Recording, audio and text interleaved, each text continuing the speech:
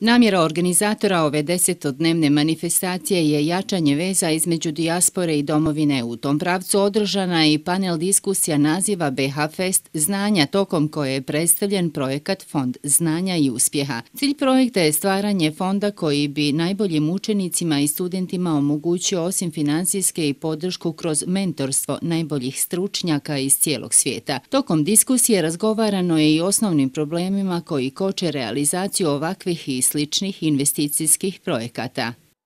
Kao država pružamo određene pogodnosti i e, smanjenje poreza e, strani investitorima, ali naši ljudi koji su iz dijaspore i koji imaju dvojno državljanstvo ne smatraju se kao strani investitori, već kao naši državljani i kao takvi nemaju nikakve pogodnosti. Isti problemi prate i razvoj projekta 5525 kojim bi se pokrenule desetine malih i srednjih biznisa sa najmanje isto tolikim brojem radnih mjesta.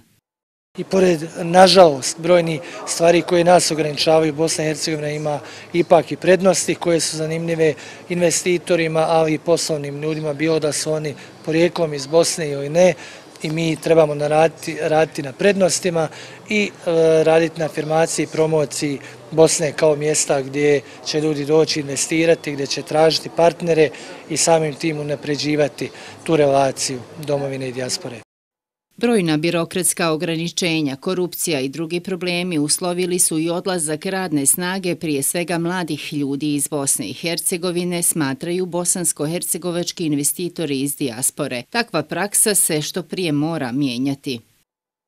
Svaki godin i pred izbore sve političke partije skorištavaju dijasporu. I možemo reći da dijaspora dobrim dijelom iskorištena i izgubila povjerenje na kraju prema tome. Dijasporu ne treba vraćati ovam, već dijasporu treba iskoristiti kao našeg partnera da se poveće ulaganje u ovoj zemlji.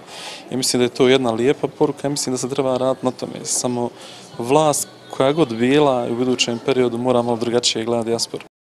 Tokom jučerašnjeg dana u okviru manifestacije koja će trajati do 29. augusta upriličen je i samit gradonačelnika, odnosno načelnika svih gradova i općina u našoj zemlji te predstavnika BH Dijaspore. U fokusu samita bila je definicija komunikacije i potreba koje dijaspora ima na nivou lokalnih zajednica, ali i uspostava evidencije kontakata koja će u budućnosti unaprijediti saradnju dijaspore i lokalnih zajednica u svim segmentima